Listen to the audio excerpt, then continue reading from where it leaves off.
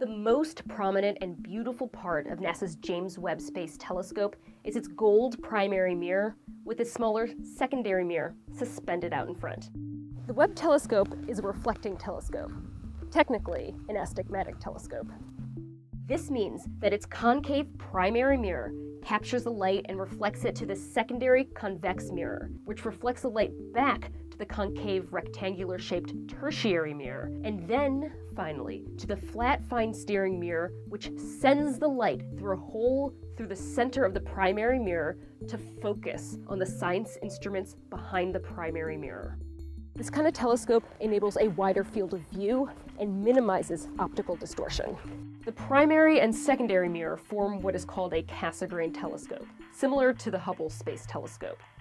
It's this third powered mirror that makes Webb an anastigmatic telescope. Webb has the largest primary mirror ever to fly in space. At 21 feet and 3 inches across, or 6.5 meters, it's built to see the faintest light coming from the most distant luminous objects in the universe. Its size presents one of the biggest mission challenges. The primary mirror is larger than the fairing of the rocket lifting it into space.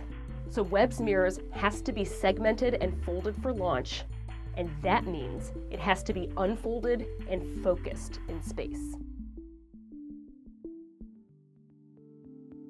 Webb's mirrors are made out of a rare metal called beryllium.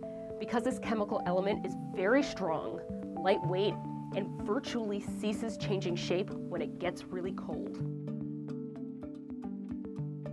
Starting from beryllium mines in Utah, the mirrors crisscrossed the country.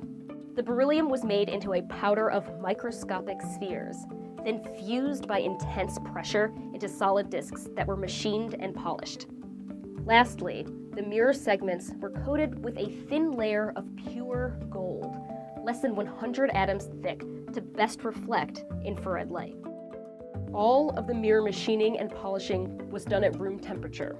Because beryllium changes its shape with temperature and only becomes stable at very cold temperatures, the mirrors were manufactured to precisely the wrong prescription at room temperature so that they have precisely the right shape at operating temperatures. That's negative 388 degrees Fahrenheit or negative 233 degrees Celsius that's colder than the surface of Pluto. A robot-like system perfectly mounted each mirror onto Webb's composite backplane structure.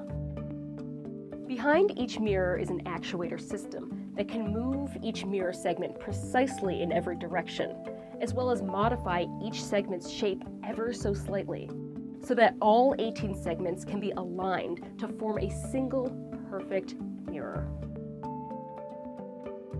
After Webb is deployed, it takes several months for the instruments to cool to their operating temperature.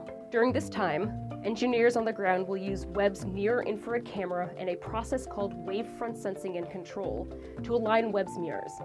The mirrors will be retuned as needed during the mission to maintain Webb's perfect vision.